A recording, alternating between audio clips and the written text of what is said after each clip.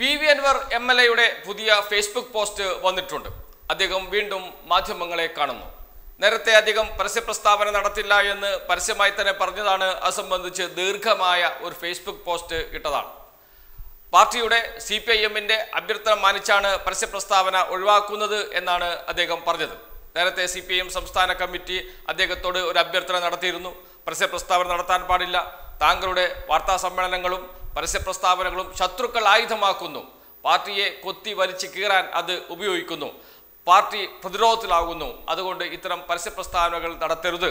താങ്കൾ ഉന്നയിച്ച പ്രശ്നങ്ങളുണ്ട്. ഒന്ന് പാർട്ടിക്ക് മുന്നിലുണ്ട് മറ്റൊന്ന് സർക്കാരിന് മുന്നിലുണ്ട്.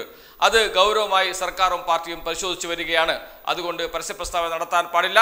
അന്വേഷണ റിപ്പോർട്ട് വരുന്നത് വരെ കാത്തിരിക്കണം എന്നായിരുന്നു പാർട്ടി അദ്ദേഹത്തോട് അഭ്യർത്ഥിച്ചത്.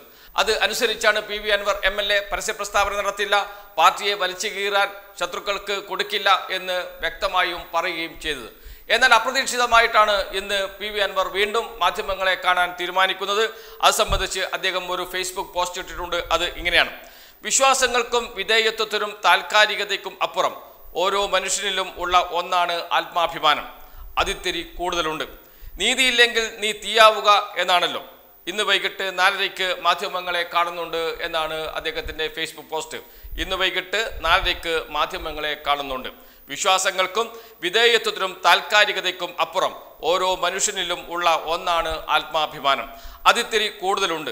നീതിയില്ലെങ്കിൽ നീ തീയാവുക എന്നാണല്ലോ. ഇന്ന് വൈകിട്ട് നാലരയ്ക്ക് മാധ്യമങ്ങളെ കാണുന്നുണ്ട് എന്നാണ് പ്രസ്താവന. മാധ്യമങ്ങളെ കാണാൻ അദ്ദേഹം ഉദ്ദേശിച്ചത് A D G P M R H കുമാറിനെതിരെയുള്ള ആരോപണം കടുപ്പിക്കുന്നതിന് വേണ്ടിയിട്ടാണ്. അദ്ദേഹം തൃശൂർ പൂരം കലക്കിയതുമായി ബന്ധപ്പെട്ട് ഒരു റിപ്പോർട്ട് ഡി ജി പിക്ക് സമർപ്പിച്ചിരുന്നു.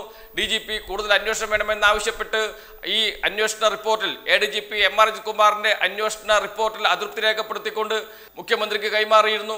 മുഖ്യമന്ത്രി അത് സംബന്ധിച്ച് വിശദമായ പരിശോധന നടത്തുകയും ഡി ജി പിയെ വിളിച്ചു വരുത്തുകയും ചർച്ച നടത്തുകയും ചെയ്തതിന്റെ അടിസ്ഥാനത്തിൽ വിശദമായ അന്വേഷണത്തിന് നിർദ്ദേശം നൽകുകയും ചെയ്തിരുന്നു. A D G P M R Ajkumar ക്രമസമാധാന ചുമതലയുള്ള എ ഡി ജി പി ആയി ഇരിക്കുന്ന ഘട്ടത്തിലാണ് അദ്ദേഹത്തിനെതിരെ അന്വേഷണം നടക്കുന്നത്. അദ്ദേഹം സമർപ്പിച്ച ഒരു റിപ്പോർട്ട് തൃശൂർ പൂരം കലക്കിയതുമായി ബന്ധപ്പെട്ട് എം ആർ അജിത്കുമാർ സമർപ്പിച്ച റിപ്പോർട്ട് ക്രമസമാധാന ചുമതലയുള്ള എം ആർ അജിത്കുമാറാണ് റിപ്പോർട്ട് സമർപ്പിക്കാൻ തീരുമാനിക്കുകയും അദ്ദേഹത്തെയാണ് ചുമതലപ്പെടുത്തുകയും ചെയ്തത്. അദ്ദേഹത്തിന്റെ റിപ്പോർട്ടാണ് ഡി ജി പിക്ക് കിട്ടിയത്. ആ റിപ്പോർട്ടിൽ അതൃപ്തി രേഖപ്പെടുത്തി ഡി ജി പി അതനുസരിച്ച് വീണ്ടും ഒരു അന്വേഷണത്തിന് മുഖ്യമന്ത്രി ഉത്തരവിടുന്നു. അങ്ങനെയുള്ള ഒരു സാഹചര്യത്തിൽ ആ സ്ഥാനത്ത് അദ്ദേഹം തുടരാൻ പാടുണ്ടോ? അദ്ദേഹത്തെ മാറ്റി നിർത്തേണ്ടേ? അദ്ദേഹത്തെ മാറ്റി നിർത്താതെയുള്ള അന്വേഷണം എവിടെ വരെ എത്തും? അത് കൃത്യമായി മുന്നോട്ട് പോകുമോ? ഈ ചോദ്യങ്ങൾ എപ്പോഴും ഉയരുന്നുണ്ട്.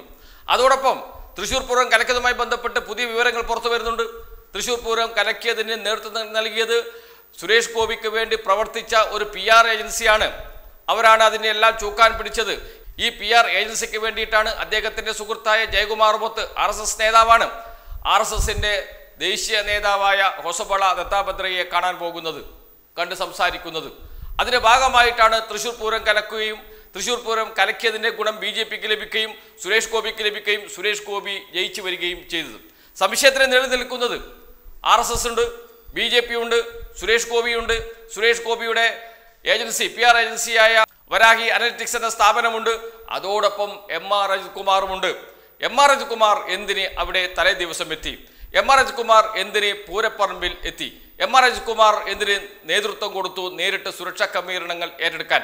കമ്മീഷണർ ഒരു സുരക്ഷാ ക്രമീകരണത്തിന് ഒരു പട്ടിക തയ്യാറാക്കിയിരുന്നു. അതിന് ക്രമീകരണങ്ങൾ വരുത്തിയിരുന്നു. എന്തിന് എം ആർ അജിത്കുമാർ അത് മാറ്റിമറിച്ചു? എം ആർ അജിത്കുമാർ എന്തിനാണ് രാവിലെ മൊബൈൽ സ്വിച്ച് ഓഫ് ചെയ്തത്? എന്ന ചോദ്യങ്ങൾ ഉയരുന്നുണ്ട്. രാവിലെ മുതൽ പ്രശ്നങ്ങൾ തുടങ്ങുന്നുണ്ട്. എം ആർ അജിത്കുമാർ അതിൽ എന്തുകൊണ്ട് ഇടപെട്ടില്ല എന്ന ചോദ്യവും ഉയരുന്നുണ്ട്. അദ്ദേഹം അവിടെ ഉള്ളത് കൊണ്ട് മറ്റൊരു ഉദ്യോഗസ്ഥന് ചുമതല നൽകാൻ കഴിയില്ല. അദ്ദേഹമാണ് ലോ ആൻഡ് ഓർഡറിന്റെ എ ഡി ജി പി അദ്ദേഹമാണ് അവിടുത്തെ ഏറ്റവും ഉയർന്ന ഉദ്യോഗസ്ഥൻ. അദ്ദേഹം അവിടെ നിൽക്കുമ്പോൾ അതിന്റെ കീഴെയുള്ള ഒരു ഉദ്യോഗസ്ഥനെയും ചുമതല നൽകാൻ കഴിയില്ല. അതുകൊണ്ട് ചുമതല മുഴുവൻ ഏറ്റെടുക്കുകയും പോലീസുകാരെ എന്തും ചെയ്യാൻ വിടുകയും ചെയ്തു എന്നാണ് പറയുന്നത്. അതുമാത്രമല്ല എന്ത് വില കൊടുത്തും വെടിക്കെട്ട് തടയണം എന്ന കർശന നിർദ്ദേശം കമ്മീഷണർക്ക് കൊടുത്തു എന്ന വാർത്തയും പുറത്തു വരുന്നുണ്ട്. അപ്പോൾ ഒരു ഗൂഢാലോചന നടന്നിട്ടുണ്ട്.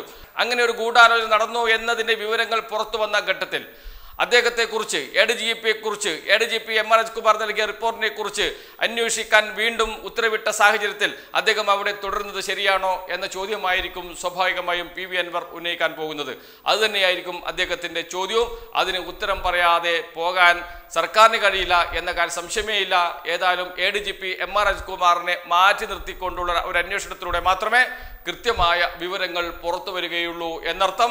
അതിന് സർക്കാർ തയ്യാറാകണം എന്ന് ആവശ്യപ്പെടാനായിരിക്കണം അദ്ദേഹം വീണ്ടും മാധ്യമങ്ങളെ കാണുന്നത് ഏതായാലും നാലരയ്ക്ക് അദ്ദേഹം എന്തു പറയുന്നത് എന്നത് കേരള രാഷ്ട്രീയത്തിൽ നിർണായകമായിരിക്കും എന്ന കാര്യത്തിൽ സംശയമേയില്ല.